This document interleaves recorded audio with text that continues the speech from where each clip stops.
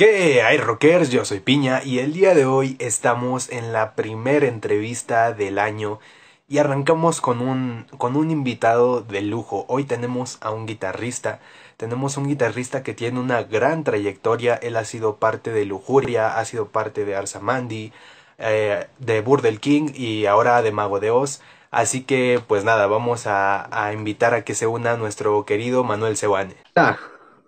¿Qué tal estáis, amigos? Muy bien, ¿cómo estás? Muy bien. Aquí me pillas trabajando un poquito, en, labor compositiva como siempre y, bien, contento de, pasar un ratito con vosotros. Muy bien, pues, pues muchas gracias por, por aceptar esta invitación. Ya teníamos un rato queriendo, queriendo hacer esta entrevista. Un placer, un placer. Ya sabéis que podéis contar con, conmigo cuando, cuando queráis y bueno, y deseoso de, de ver qué, quiere preguntarme la gente, a ver qué me quieres preguntar tú, si no me pones ahí muchos compromisos.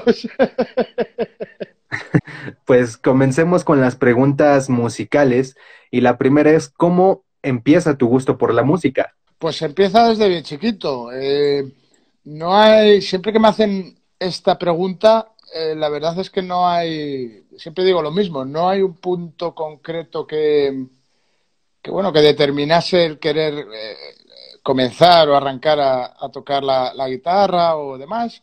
Simplemente un día me, apeteció probar y, ya ves tú, hasta, hasta hoy, ¿no? Pero bueno, luego es verdad que vas descubriendo música, bandas. Eh, yo empecé estudiando flamenco eh, y luego fíjate dónde he acabado, ¿no? O sea, te quiero decir que, que es verdad que luego vas descubriendo música y te vas enrollando más con un estilo musical o con otro, aunque tengo que admitir que escucho todo tipo de música.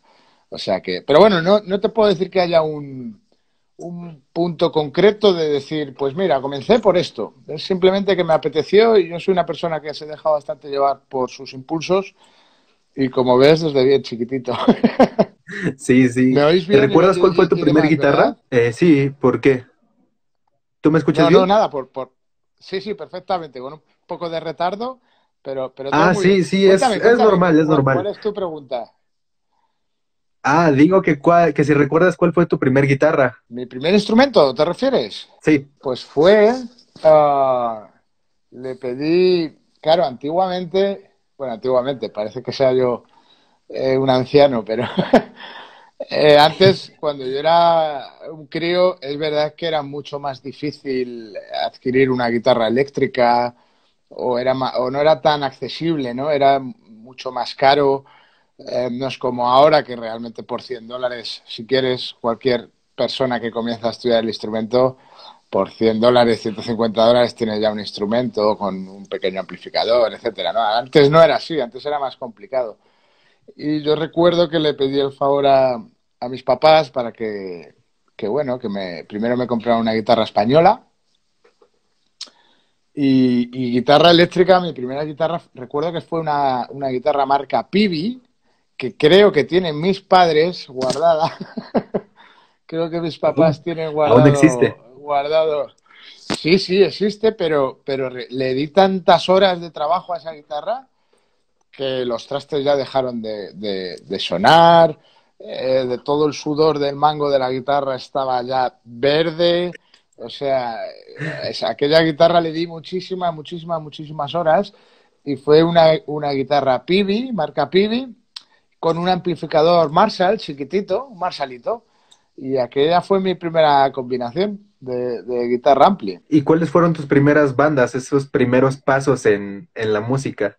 Ya más profesional, por así decirlo. De, ¿Dices que es de influencias de bandas que me gustaban? O, no, tus primeras bandas, las primeras que, formaste o en las que formaste parte. Bueno, yo eh, grabé una primera maqueta, un demo, yo instrumental, eh, que el otro día en otra entrevista me, hablaban de ella y, y, esa sí que yo ni la tengo, ni la quiero escuchar a día de hoy. Eh, pero bueno, mi primera banda eh, un poco con la que comencé a hacer circuitos de festivales por acá, por España y demás, un poco a nivel más, más eh, profesionalizado, por así decirlo, fue Arsamandi. Entré muy jovencito en Arsamandi eh, y fue la primera banda con la que, bueno, pues empezamos a, tocar muchísimos festivales. Era raro el fin de semana que no, que no teníamos algún show por España. Y la verdad es que fue una época maravillosa de, de, aprender mucho, de, eh, bueno, de, carretera. Fue un poco la mili, ¿no? El, servicio militar de, la música, ¿no? Aprendí de eso, del comportamiento en un escenario, de cómo es el día a día en una furgoneta. Eh, bueno, pues de hacer kilómetros y kilómetros. Es fue mi primera banda. Sí, sí, y una banda ya con trayectoria y reconocida, importante en el género. ¿Recuerdas cómo te invitaron a formar parte de, de Arsamandi? Em, pues vamos a ver, por aquel entonces ah, estaba el guitarrista, el guitarrista que había entonces era Íñigo Zubizarreta, que después eh, marchó a Taco y de Taco a SA, creo, a Sociedad Alcohólica, o no sé si fue al revés, primero en SA, después. Y luego se marchaba también de la banda eh, Fernando Mainer. Ellos estaban antes de que entrara yo, ¿no? Fíjate lo que es la vida, macho. Increíble. Eh, y el caso es que yo les presenté aquella primera maqueta que tenía. Creo recordar que fue así, tampoco me acuerdo muy bien, pero creo que recordar que fue así, que les había presentado yo aquella primera maqueta de la que te hablaba antes. Y la clave fue, la clave fue, yo creo que me cogieron porque llevaba conmigo un bajista y ellos necesitaban guitarrista y bajista.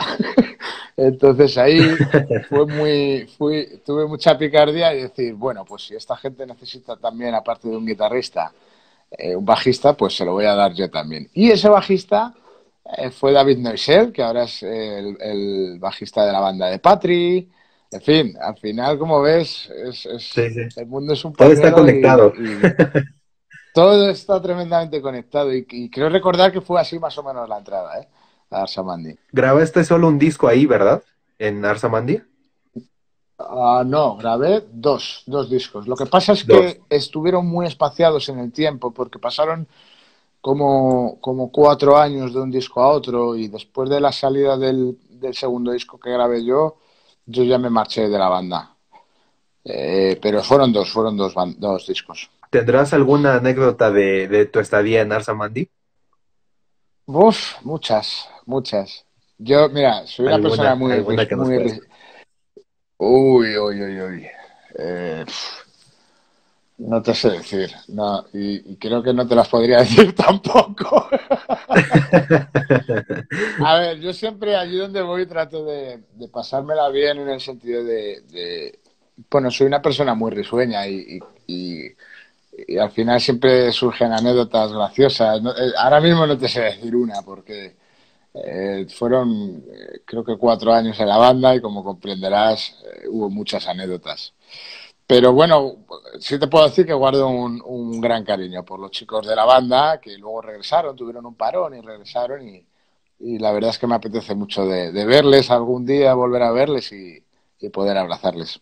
¿Y cómo es que sales de la banda? ¿Fue por ese mismo parón que, mencionas?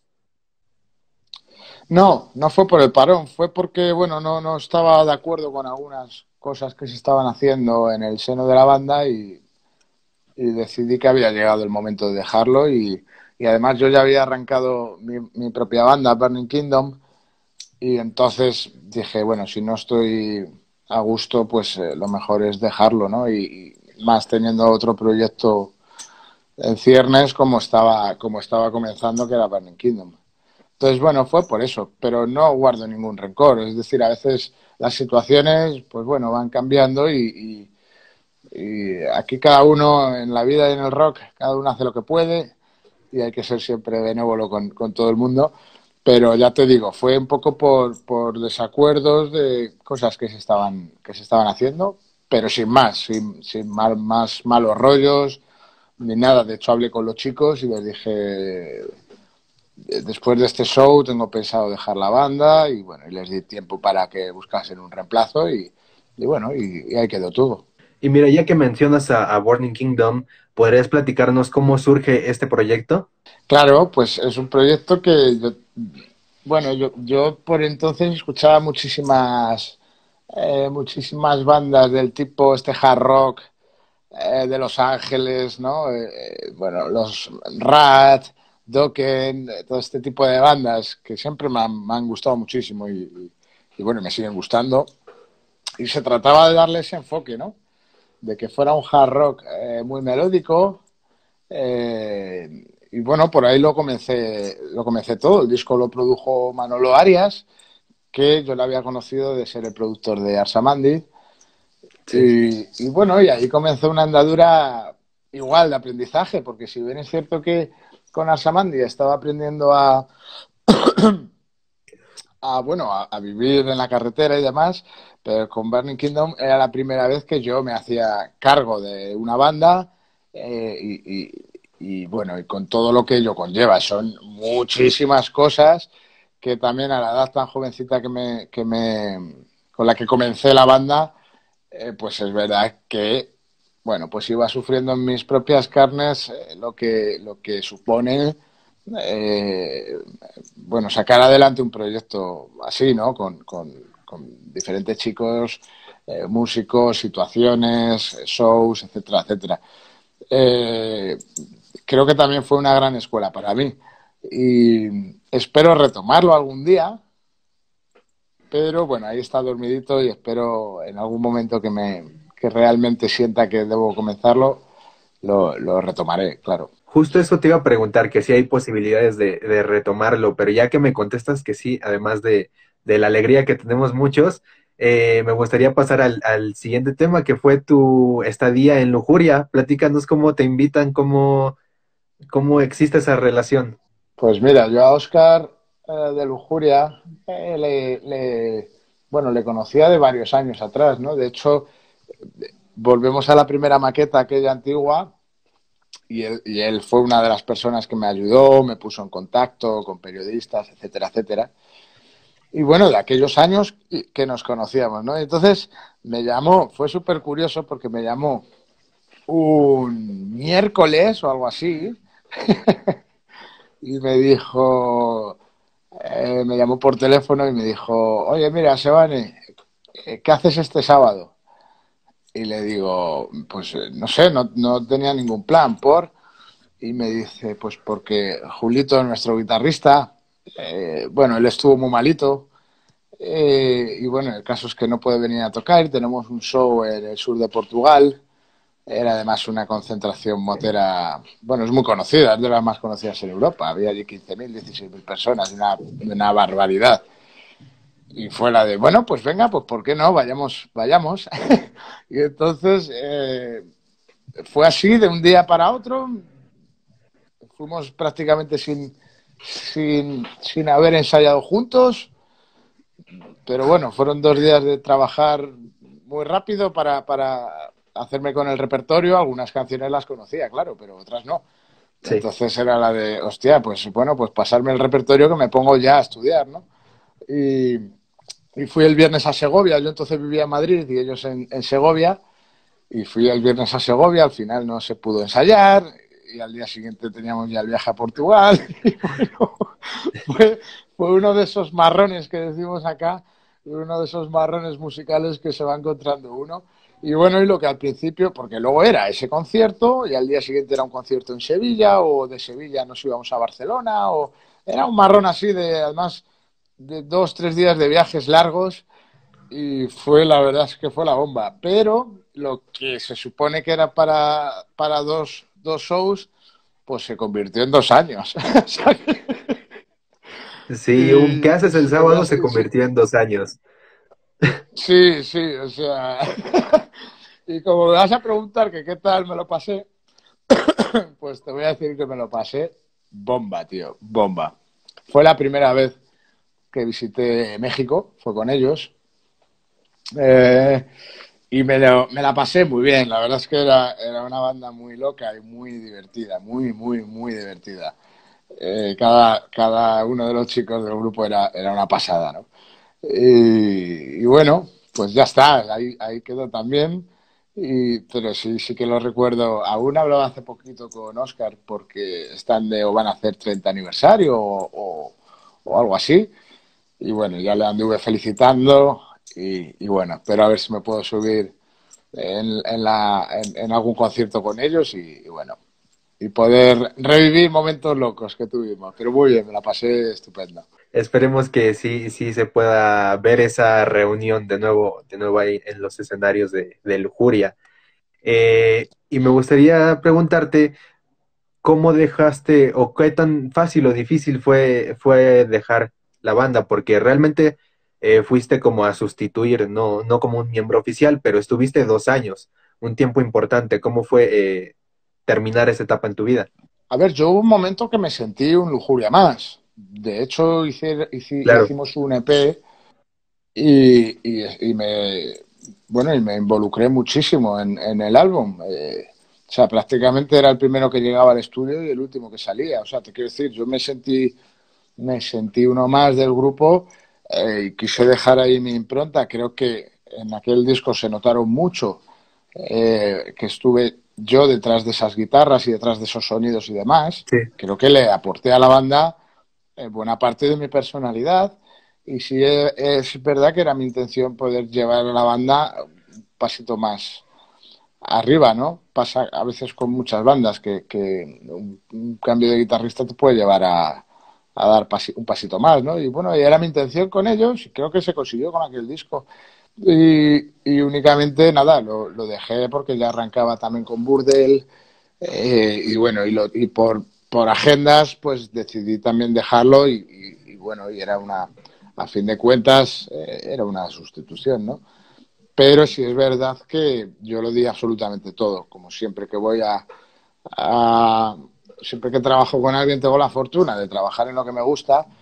Y por lo tanto, nadie, digamos, si estoy en una banda es porque quiero darlo absolutamente todo, dejar dar lo máximo de mí y como dicen todas las bandas eh, donde estuve, pues hice lo propio con, Lujuria. Y creo que, bueno, aporté buenas cosas y, ya está.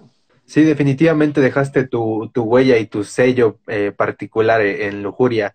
Y ya que mencionas a Burdel King, ¿cómo es que te invitan a formar parte de este extraño eh, experimento musical? A mí me dijeron, te tienes que poner muchas plumas. Y dije, vale. ¿Y cómo conociste a Chus? Pues mira, Chus es una historia súper bonita. Cuando saqué, creo que, creo que era el primer disco, mi primer disco con Burning Kingdom, eh, tocaban una, no sé si fue con el primero o con el segundo disco que hice, no lo sé. Tocaba en una, en una sala en Madrid, eh, que era muy, muy conocida del circuito de acá, que se llamaba Red Boy Compass. Y entonces, antes de, antes de, de comenzar el show, se pasó por el camerino Javi Díez. Javi Díez había, había ido al mismo colegio donde había ido yo. Lo que pasa es que él tiene unos años más que yo, pero, pero bueno, habíamos coincidido en el, en el mismo instituto, ¿no? Y, yo ya le conocía de muchos años antes. Y entonces se pasó por, por el camerino antes del show de Burning Kingdom y me dijo, oye, ha venido Chus a verte. Y le digo, cabrón, no me digas eso, que me pones más nervioso. y bueno, después del show eh, nos conocimos eh, nos intercambiamos los teléfonos, le gustó mucho el show y bueno, y a partir de ahí fue que nació, que nació lo que ahora es una amistad. A Chus le quiero con locura y, bueno, y, es una, es una bonita amistad y una, y creo que fue un bonito comienzo, ¿no? O al menos curioso, es un poco como pasa a veces en las películas, ¿no? Entonces fue así, básicamente, como nos conocimos. Y retomando lo de Burdel, ¿cómo es que te hacen la invitación para unirte a, la agrupación? Pues porque Alberto Marín se había marchado a Defcon 2. Creo recordar que fue por eso, tampoco lo, eso ya no lo sé muy bien. Como, como fue lo de Alberto, no, no lo recuerdo ahora mismo, pero creo que había sido algo así. Y entonces, bueno, pues me pegó un toque chus. Y como sabía además que, me, que a mí me gustaba ese hard rock, eh, rollo Molly Crew y todo esto, pues, pues era como, como un guante, ¿no? Venía como un guante. Y bueno, pues por eso fue. ¿Y cómo recuerdas esa etapa en Bordel King? Bien, muy bonita, especialmente luego con, con pues fíjate, hicimos, Eh, estuvimos teloneando a Mago en muchísimos conciertos por Estados Unidos, por México. Quiero recordar que en México, quiero recordar, no me acuerdo ahora mismo. Bueno, en algunos países, por supuesto aquí en España. Y fue bonito y me gustó mucho poder también estar para la composición del segundo disco, ¿no? Que a mí me gusta. ¿A ti cuál te gusta más, el primero o el segundo? A mí, el segundo. El segundo. que, aún no lo tengo en físico, pero, ¿eh? pero es mi favorito. Los dos están realmente bien y además creo que, mantienen ambos una, una esencia, una, una personalidad de banda, que es eh, muchas veces las bandas, para definir bien su personalidad, a veces necesitan tener tres y cuatro discos. Y es que eh, Burdel ya con el primer disco es la de, vale, esto ya suena a Burdel. O sea, es que no puede sonar a otra, a otra, otra cosa, ¿no? Pero a mí me gustó mucho el, poder estar presente en la composición del segundo disco eh, y aprender también a componer eh, con, con, con Javi, con Chus, etcétera, etcétera, que ayudaría más, más tarde y a la postre a lo que ahora hacemos, ¿no? En Vago. Entonces, bueno, bien, estuvo, estuvo a mí me gustaba mucho. No sé si en algún momento se, se retomará o, no, no. Eso ya, las plumas nos guiarán. Eso ya no lo sé. Chus ha dicho que es un proyecto que, que ya, es, ya está por finalizar, que tal vez le gustaría grabar un, DVD en vivo. Me imagino que ya te habrá platicado algo. Eh, ¿A ti te gustaría grabar un disco más? ¿O, qué opinión tienes de, del futuro de, de este proyecto? A ver, yo creo que los tiempos, eh, bueno, eh, para cada proyecto hay, hay una vida y hay un proyecto. Si es verdad que a lo mejor tenemos la sensación, alguna vez que lo, que lo hemos hablado, Chus y yo y Patri y demás, de que sería bonito cerrar el ciclo Burger King, ¿no? Y qué mejor manera que a lo mejor pues grabando un show, ¿no? Con, con, y bueno, y dejando, plasmando en un DVD pues toda esa macarrería que tiene la banda y toda esa chulería que tiene la banda y demás, ¿no? Entonces, bueno, pues ya se verá en el futuro si da para, para hacer algo parecido o, qué sucede. Muy bien. Eh, después de esto empezó tu, tus primeros pasitos en Mago de Oz. Hiciste una colaboración en Hechizos, Pócimas y Brujerías, y no mal recuerdo fue el Mercado de las Brujas. Eh, ¿Esa canción eh, te invitaron específicamente para componer para Mago de Oz o era originalmente para Burdel y pasó para Mago? Porque tengo entendido que en algunas ocasiones hay algunos temas que están destinados para Burdel y acaban en, Mago. No, en aquella ocasión era un tema para Mago. Además, aquella, sí, aquella sí que fue la primera vez que yo componía con Chus.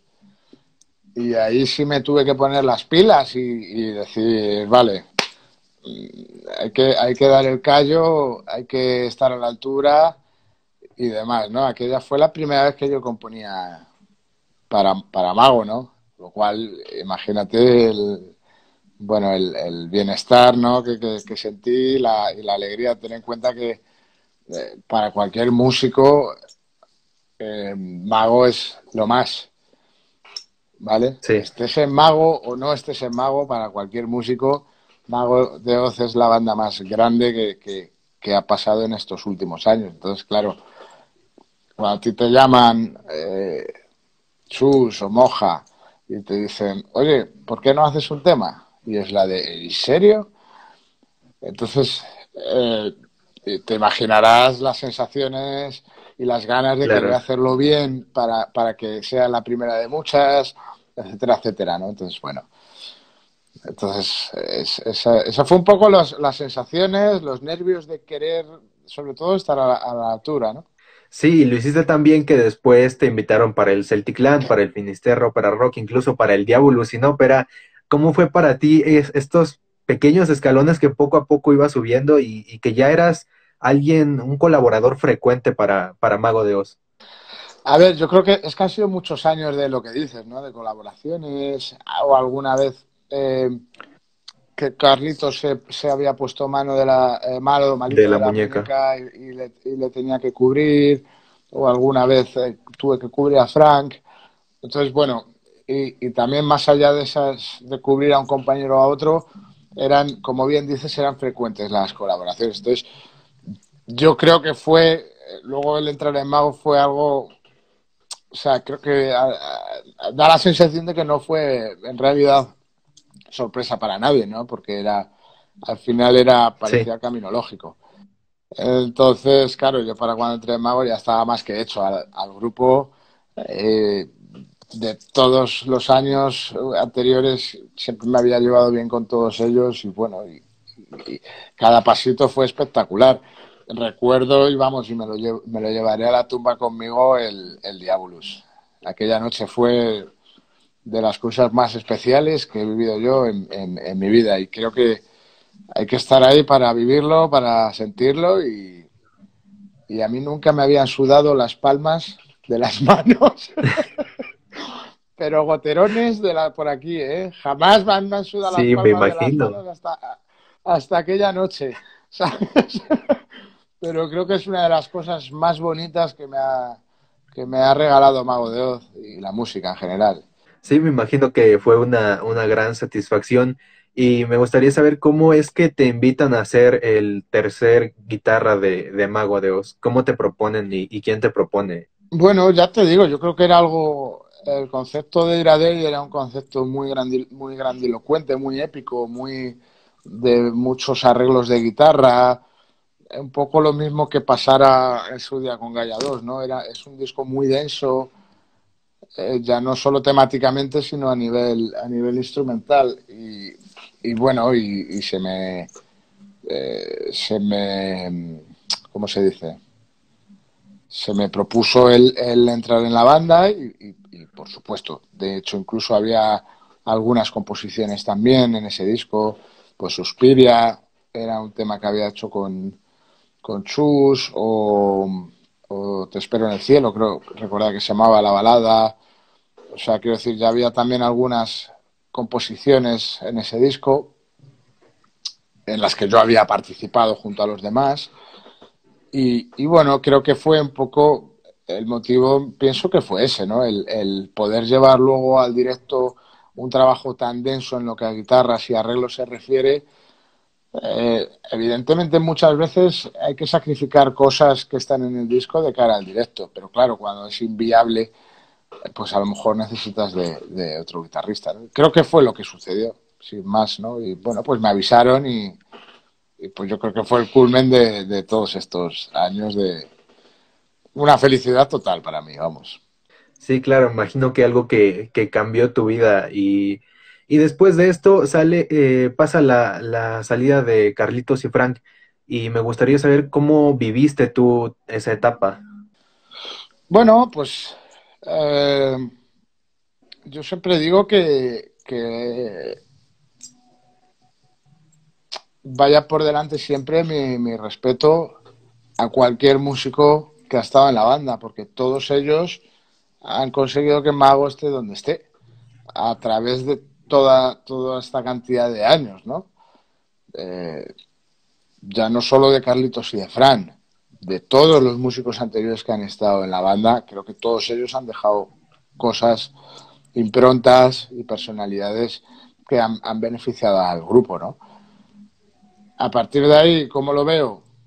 Bueno, pues eh, yo entiendo que para el fan es, es es triste, ¿no? Porque más, además son dos personas que han estado muchos años, pero y han tenido mucho peso, ¿no? Pero bueno, a partir de ahí lo veo con, como, con, de cara al futuro con muchas eh, ganas, tanto de Víctor como, como mías, de, de, dar a entender que estamos en, en otra etapa del grupo. Hay dos guitarristas nuevos y, joder, yo lo hablo muchas veces con Víctor. Yo, tenemos que conseguir no reemplazar a nadie, sino eh, dejar nuestro propio sello, ¿no?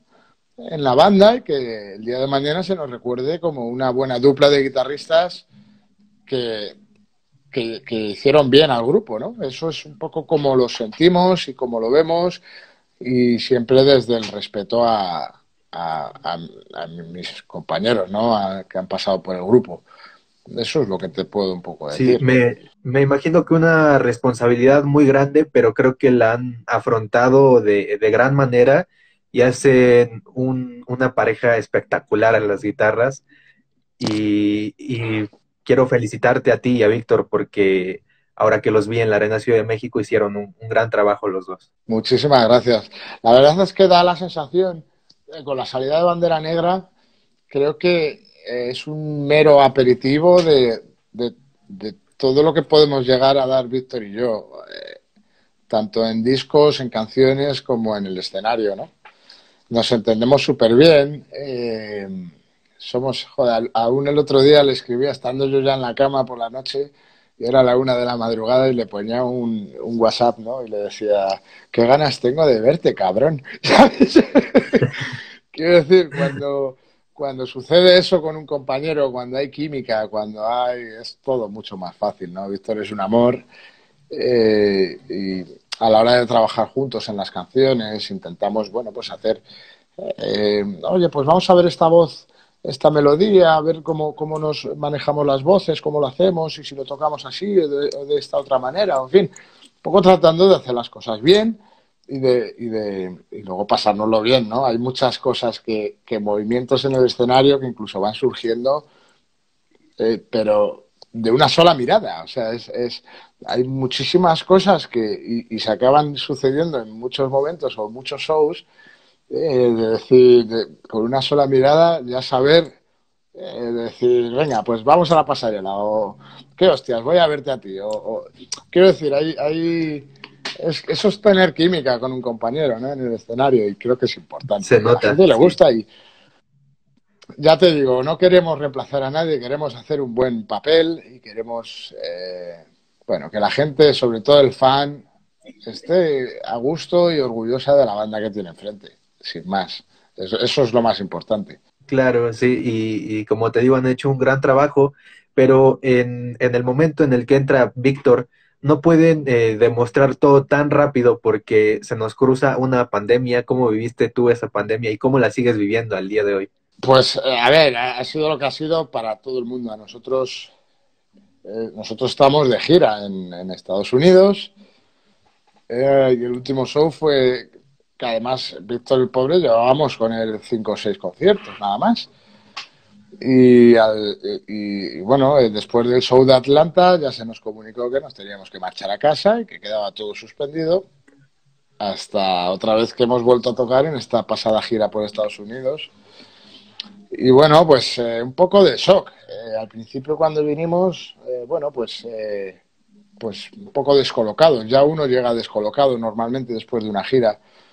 Pasé unos días descolocado en casa. Pero claro, con esto tampoco entendíamos muy bien lo que estaba sucediendo.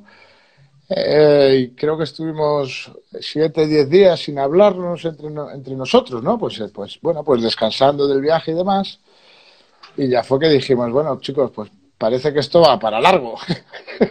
vamos a hacer algo porque me da que no vamos a poder tocar. Y como así fue al final. Entonces, bueno, pues pasamos la pandemia pues componiendo muchísimo. Para Mago, para, para en fin.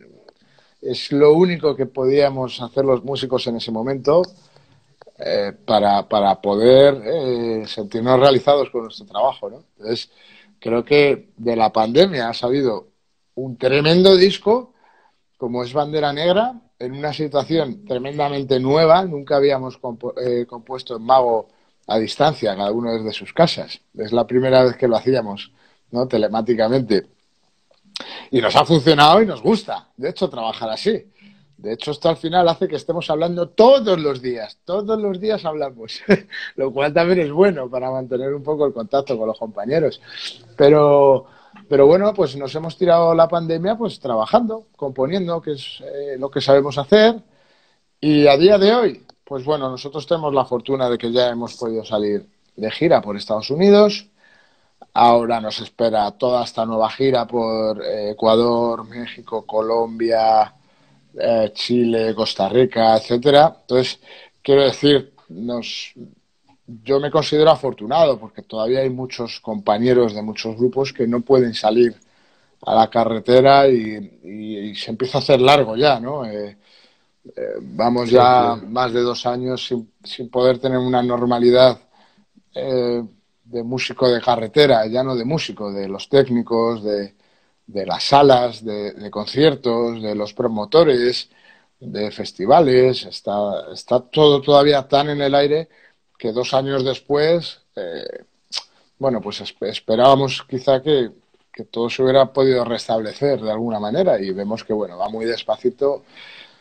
Lo importante es que la gente goce de buena salud en la medida de lo posible, porque al final esto no lo quería nadie, absolutamente nadie, pero el caso es que nos ha venido hay que lidiar con ello y ser responsables y tratar entre todos de, capear el temporal y, volver a, lo que todos sabemos que nos gusta lo antes posible. Sí, parece que ya, ya estamos viendo la luz al final del túnel, ya, ya salió eh, bandera negra, poco a poco nos podemos ir incorporando a nuestra normalidad y me gustaría eh, preguntarte cómo has vivido todos esos shows, el, el concierto en, en, Ciudad de México con el gran barco pirata, ¿Y qué esperas de, la gira que, se aproxima? Pues mira, cuando volvimos, el primer show que hicimos de la gira fue Seattle y, teníamos todos unas caras en el camerino de, nervios, de como si fuéramos, como si fuera la primera vez que nos subíamos al escenario. Unos nervios después de dos años sin, sin, sin tocar, ¿no? Sin subirnos al escenario, sin sentir. Es que, verás, es una sensación tan única eh, ya vivirla una vez en tu vida es alucinante. Cuando tienes la fortuna de vivirla cada noche es estremecedor. Entonces, el primer show que hicimos en Seattle fue, eh, creo que lo tendremos todos grabados de nuevo por siempre. Y, y lo de Ciudad de México fue sencillamente espectacular. Al día siguiente volábamos a casa y, y yo creo que llegamos a Madrid y ya cada uno se fue a sus casas, ¿no? A sus ciudades. Y ya hablando los días sucesivos fue la de, hostia, vaya show, ¿no? muchas veces, perdona, muchas veces pasan varios días para que tu cabeza empiece a asimilar eh, una noche como, como la de como la de aquel día, ¿no? Es, es es con el, con el marco, con la escenografía. Nosotros el día del show fuimos por la mañana allí a la arena y nos tenían el, el escenario tapado, ¿no? Con una sábana gigante. Y cuando la dejaron caer y vimos, y vimos el escenario de a lo lejos, fue la de Dios, cómo mola. O sea, qué pasada, qué pasada. Hay muy, muy pocas bandas que puedan hacer que hagan eso, ¿no? Que inviertan eh, dinero en dar a, los fans eso. No es fácil de hacer, cuesta mucho dinero, eh, muchos quebraderos de cabeza, pero luego ves el resultado y dices, joder, cómo mola. Es una pasada, ¿no? claro, sí. Y noches como aquella siempre son muy, muy especiales y esperamos que se vuelva a repetir el día 19, ahí en Ciudad de México, así como el resto de ciudades de México, donde vamos a estar, estamos ansiosos. Sí, tenemos casi, pues no sé, son 15 o 16 conciertos allí. Y bueno, yo espero que, eh, bueno, que la gente esté con nosotros, sea una comunión, eh, vivan a flor de piel el, show. No sé, para mucha gente también será la primera vez que ve este repertorio de Bandera Negra con canciones de, del disco de, de Iradei en esta gira hay muchas ciudades y muchos países que no pudieron disfrutar de, la gira de Iradei. Entonces, también creo que hay muchos condicionantes que, apuntan a que puedan ser noches muy, muy, muy grandes, ¿no? Muy gloriosas, por lo que te digo. Eh, eh, tenemos el, eh, canciones de dos discos que hay mucha gente que no escucha en directo, dos guitarristas nuevos. Bueno, hay muchos condicionantes que, que hacen que puedan ser grandes noches. Sí, claro. ¿Cambiará el setlist? Pero es que si te lo digo... ya lo veremos, ya lo veremos.